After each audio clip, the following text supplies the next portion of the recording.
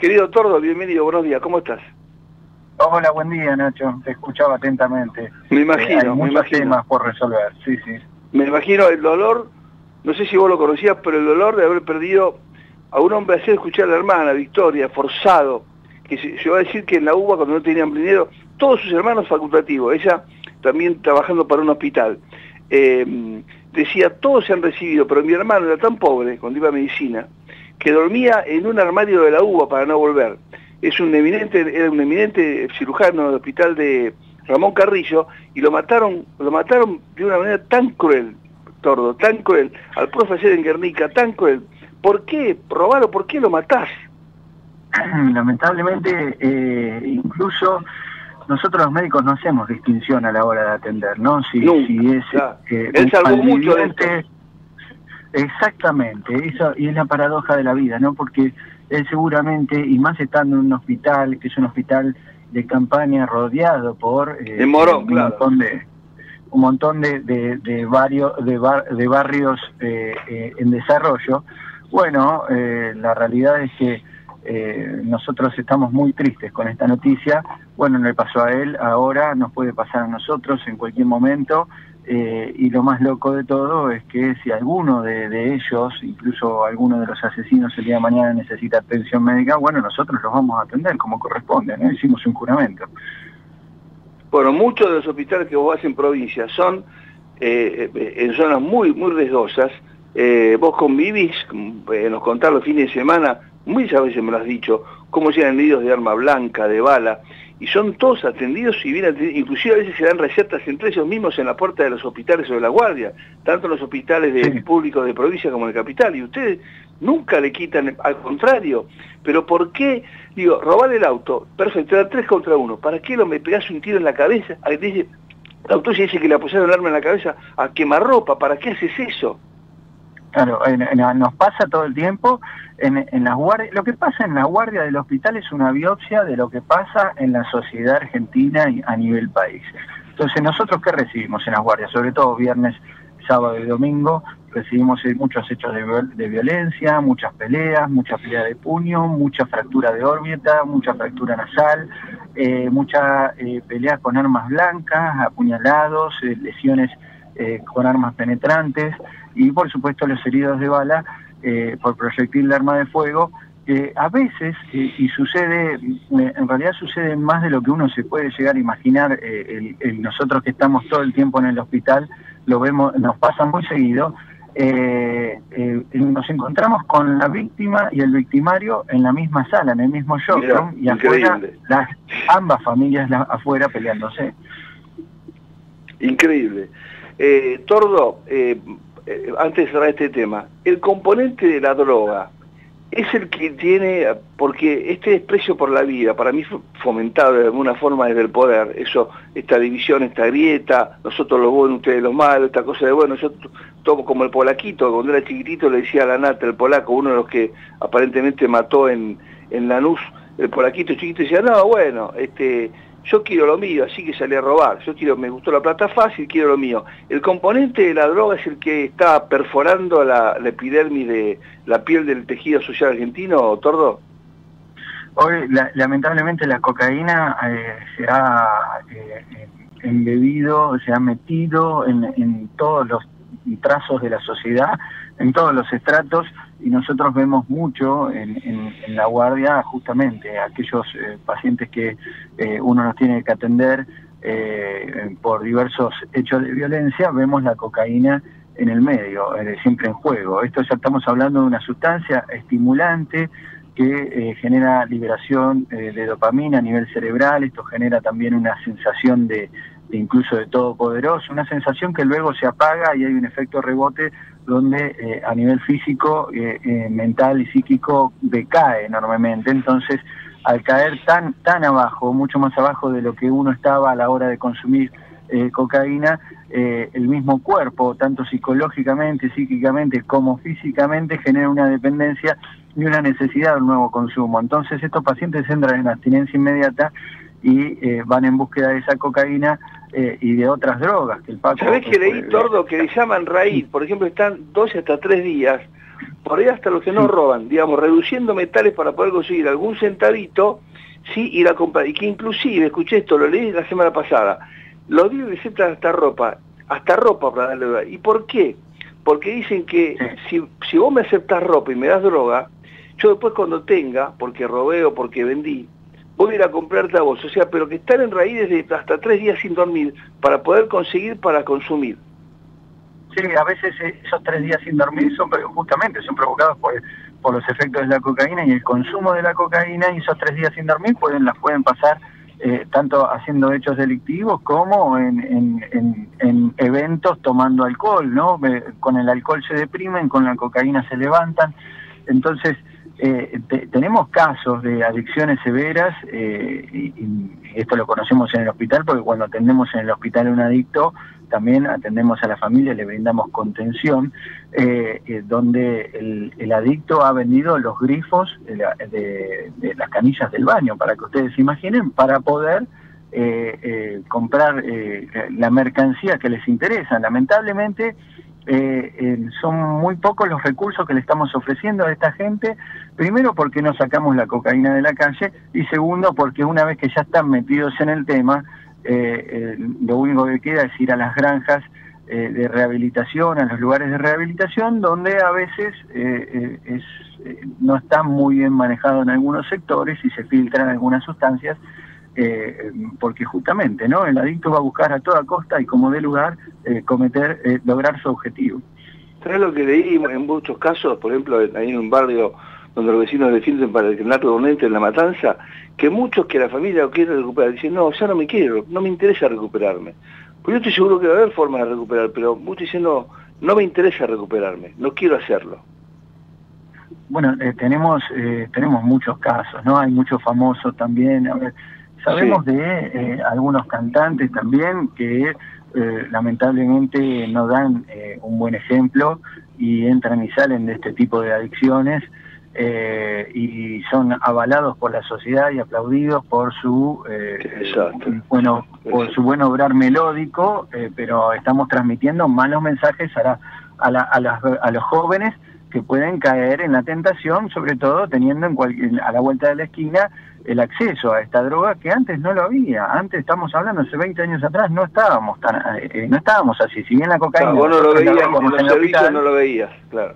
No, no, veíamos casos, sí, por supuesto, pero hace 20 años atrás hasta incluso eh, podríamos llegar a, a, recurrir con una ambulancia a un domicilio eh, donde habían hecho por ahí alguna algún evento y uno tiene que ir a atender a los pacientes que lamentablemente se pasaron de rosca, por decirlo hablando mal y pronto. Pero hoy lo vemos en la gente en, en, la calle, hoy lo vemos en todo momento y ya el paciente eh, que está eh, bajo los efectos de la, de la, cocaína ya recurre al hospital y, es una cosa diaria de todas las de todas las guardias. Bueno, Tordo, eh, un partido que vos conocés muy bien, el conurbano, un intendente en pandemia, repito, un partido que vos conocés muy bien, dijo, yo los cubro cuando ustedes venden falopa con la ambulancia.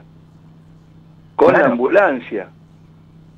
Claro, pasan, pasan estas cosas, ¿no? Y vos fíjate que eh, nosotros eh, en, a nivel intrahospitalario nos vamos enterando de diversas cosas, ¿no? Por ejemplo, esto se mueve allá, esto se mueve acá, y están las denuncias correspondientes. Y nada. y, no tenemos, eh, eh, no, no podemos sacar la cocaína de, los territorios, por supuesto no es algo que le corresponde a los médicos, nosotros estamos, si alguien cae en eso, estamos, pero lamentablemente creo que no esto va más allá.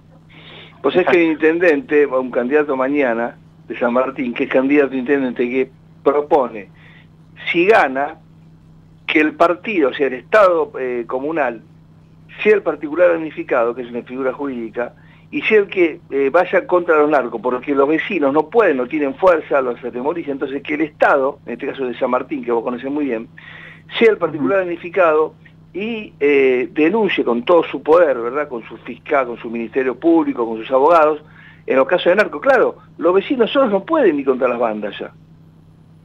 No, no, esto es algo que la sociedad, es, esto es algo que atraviesa la sociedad en todos sus aspectos. Vos fíjate que nosotros como, como médicos recibimos el coletazo de aquellos pacientes que lamentablemente no pueden manejar su adicción, pero imagínense que detrás de cada paciente hay una madre, de que al lado de, esa casa hay unos vecinos, y, así eh, barrios enteros están afectados y atravesados por esta problemática que aún no podemos resolver. Qué espanto. Eh, Toro, sé que por ahí no, pero ustedes saben todo enseguida. La autopsia de Morena dio que tenía el hígado y los riñones muy dañados, ese amuelo por los golpes. Digamos, ¿cómo, cómo, la, cómo, cómo la habrán golpeado? Porque ella, bueno, cae y parece que eso le produce el, estado de shock, pero ¿cómo le pegaron esos métodos? ¿La arrastraron? Digo, la causa de la muerte, fíjate, ella no le dispararon, pero la mataron a golpe de alguna forma. Las, autopsias son, eh, a ver, no, no, no se equivocan, uno abre lamentablemente es, y voy a ser grosero con esto que voy a decir, por ahí impacta a la gente, pero uno abre el cuerpo, revisa cada órgano, y si en los órganos vemos que hay eh, eh, sangrados, que hay hematomas, bueno, esos son eh, sangrados y golpes que se hicieron mientras el paciente estaba vivo. una vez que el paciente está fallecido, el, el, tipo de lesiones que se pueden llegar a generar en el cuerpo tienen otra forma porque el corazón no late y eso genera menos sangrado, genera rupturas de tejido, pero sin sangrado. Bueno, nosotros nos podemos dar cuenta, los informes de autopsia, así como, bueno, salió el otro informe de la, de la otra autopsia, el otro caso eh, que vos bien mencionabas, eh, eh, donde había edema cardíaco en, el, en el hecho del manifestante. Del bueno, Exactamente, no, ese paciente sabemos por la autopsia que no falleció por golpe, sino que falleció por una patología cardíaca, una insuficiencia cardíaca eh, y básicamente el corazón eh, ha dejado de latir porque... Tenía muchos factores de riesgo. Dijo un amigo que le había conseguido una, una reunión con la hija del Che que tenía todo, todos los factores de riesgo, los tenía todos. Obesidad mórbida, cardíaco. Sí. Y eso, eso se observó en la autopsia, justamente.